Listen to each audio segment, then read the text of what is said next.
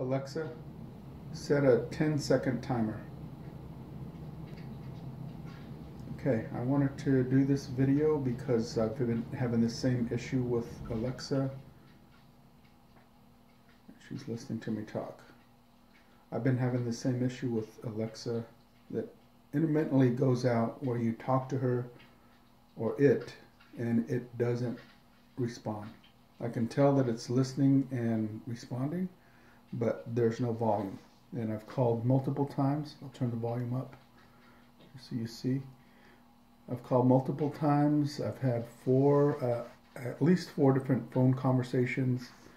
they put me in touch with it with a technician, and then their technician talked to engineers, and they came back and finally, finally, after several weeks, they came back and said, well, we acknowledge the problem, but we don't know how to fix it.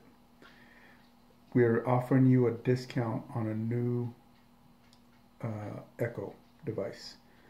And so I didn't really want a new Echo. I just wanted this one repaired. And they said they don't do that. So I just want you to see what's happening. Alexa, what time is it?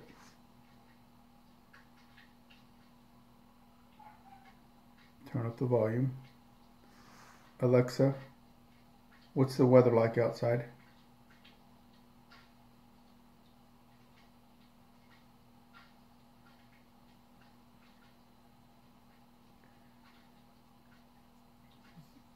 You see the blue light means that she's responding, but no answer. So this is the solution. Basically, I have to unplug it for a couple seconds.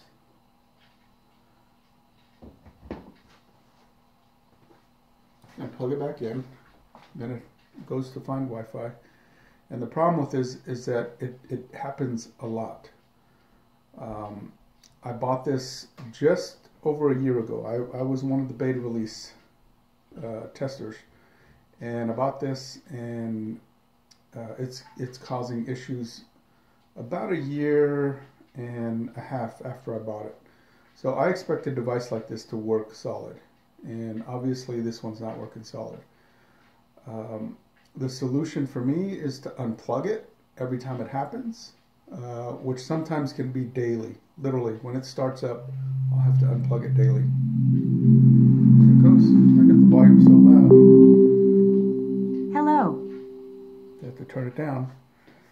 But this is a problem that you may experience, you may not like I said, I don't know um, what else to do, but I've complained and complained, and uh, Amazon is offering me a replacement. I don't want a replacement that I'd have to pay for, by the way, uh, at a discount. So that means I would have to buy two devices uh, over the course of a year and a half.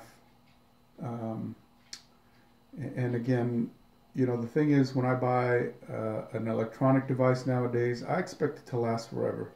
I'm recording on a on a Samsung phone that I've had for uh, over two years now, almost three years, and it's solid, absolutely solid.